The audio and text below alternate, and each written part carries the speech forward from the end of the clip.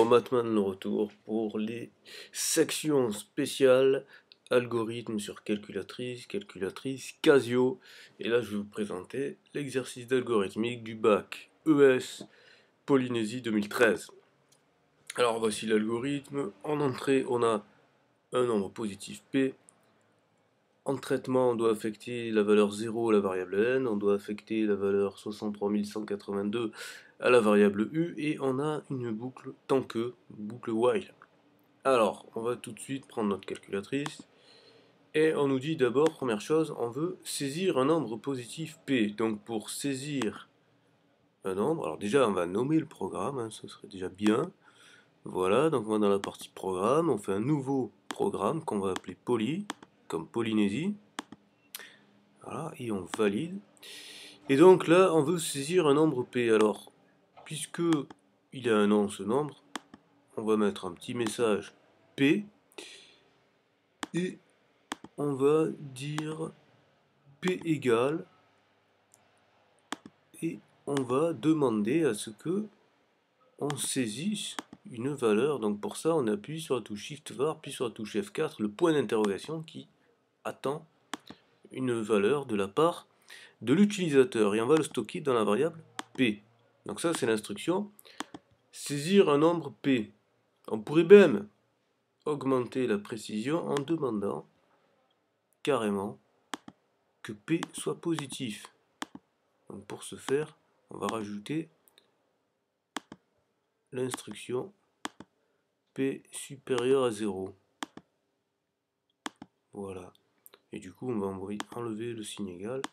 Et on va laisser le point d'interrogation pour dire qu'on attend une valeur de P et que en plus, on attend à ce qu'elle soit positive. Alors ensuite, on va affecter la variable U de la valeur 63182.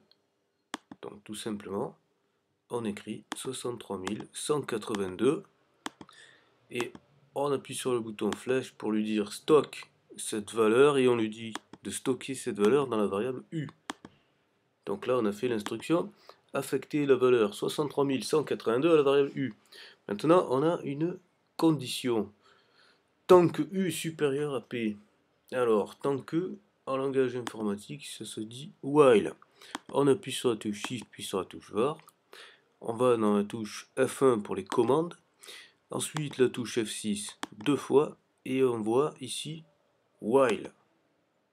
Donc while, la condition c'est U supérieur à P. Donc on va écrire cette condition. Alors ici, pour obtenir le signe supérieur à, comme on l'avait fait tout à l'heure, c'est dans la rubrique relation. Donc on voit ici on a égal, différent, supérieur, inférieur, supérieur égal, inférieur égal. Là on veut que ce soit supérieur strict. Donc on choisit supérieur strict.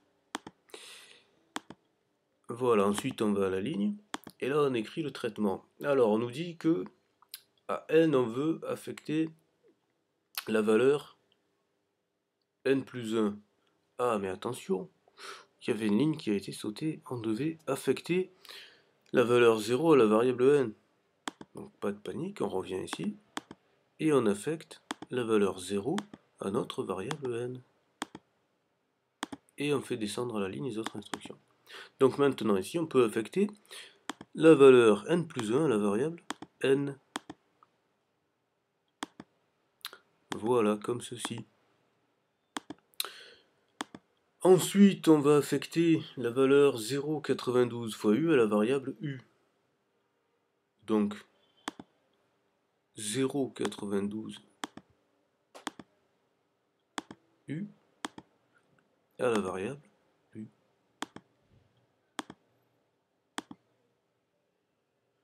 Et cela est la fin de notre temps que. Donc pour ça, il faut lui signaler que c'est fini. Donc pour ce faire, on retourne dans la partie commande, dans la partie while, et on a un W end, c'est pour while end, la fin du while. Ensuite, on veut affecter la valeur n plus 2011 à n. Eh bien, c'est ce qu'on va faire ici.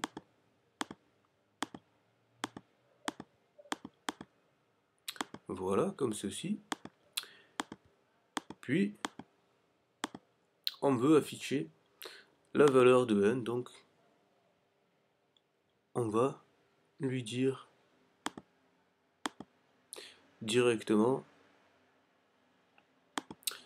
n shift var petit triangle noir et ça va afficher la valeur. On exécute le programme, on entre une valeur de p positive, par exemple 5, et il nous affiche 2125. Si on rappelle le programme, et qu'on met la valeur 0,5, il nous affiche 2152.